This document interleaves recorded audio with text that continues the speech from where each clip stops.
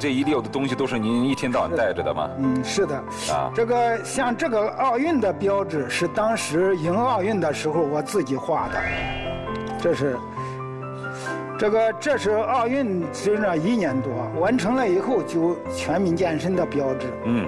这个走出国门就是后来就是这个就是这个保护环境低碳生活。刚我们看了，刚刚我们看了。啊，这个看过了。这个头盔都已经旧的不成样子了。呃，这个已经不像样子了。嗯。但是现在，嗯嗯，现在已经这一次从美国回来，已经有三个人送给我头盔。啊。这是这个还是 我喜欢的。舍不得戴啊。嗯。您这吃饭的盆这么大。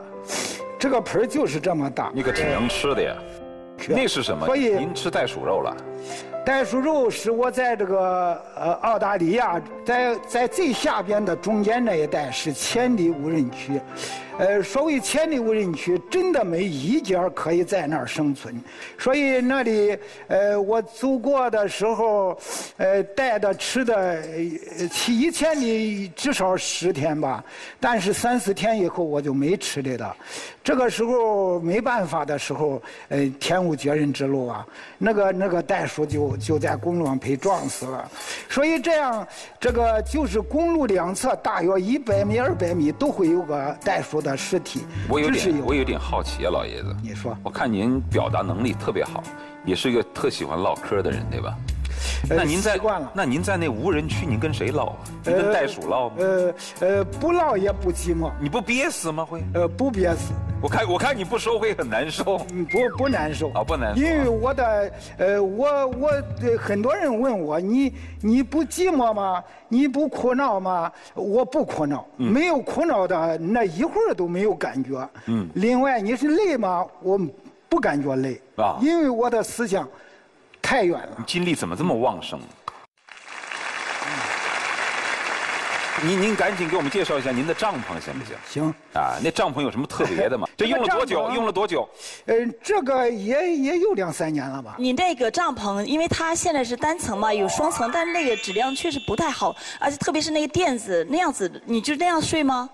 哎，我跟你讲啊，我我先跟您介绍一下，他就是做帐篷的。啊，他会赞助您十个帐篷。哎，你们不是要去非洲嘛，对不对？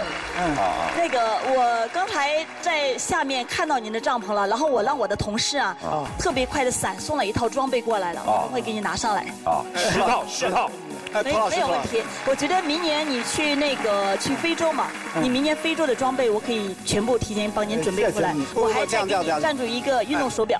胡老师，这样的啊，就是我们的酒店还是需要人住的，不能被帐篷把生意抢走的太多了啊。我是做酒店的，呃，那么温度姆酒店在全世界我们有九千多间，你只要有需要的时候就跟我打声招呼招呼。非洲我帮你定了，好吧？你要愿意住帐篷就住他们斯凯勒的帐篷，愿意住酒店就住我们。哎，最好的方式就是带着他的帐篷去住酒店。啊。哎，老老爷子，你别的困难我们解解这儿啊，这儿这儿这儿有一个这儿一个这儿困难的啊。呃，别的问题可能我们解决不了，您那个健康问题啊，第一我们给您配个手表，您要是血压或者心率稍微有点问题，我们后台能看得见。第二呢，如果您直接有什么健康问题，你就直接我给你二十四小时热线，保健医在后台，你就说我哪哪不舒服了，我该怎么处理，他及时给你一个处理方案。这手表下台我就跟您对接一下，你就拿回去就行了。好，大爷骑行了这么十几年。每一步行程都是有自己的计划，他有手账的啊，这手账就摆在你们的前面啊。来，大家帮个忙，帮我们展示一下，让我们一起看一下大爷的手账，啊，一个四零后的手账啊，哇。这的用途其实是为了展览，到各大城市，特别省会城市去展览，在人们看了以后，呃，就是呃，我会写那个邮寄啊，卖邮寄赚路费，就是通过这个展览摆在地上是很简陋的，而且这种做法没有潜力，就是我自己想的。呃，我其实挺佩服这样的老人的哈，我觉得他的核心目标就是把生命延续到。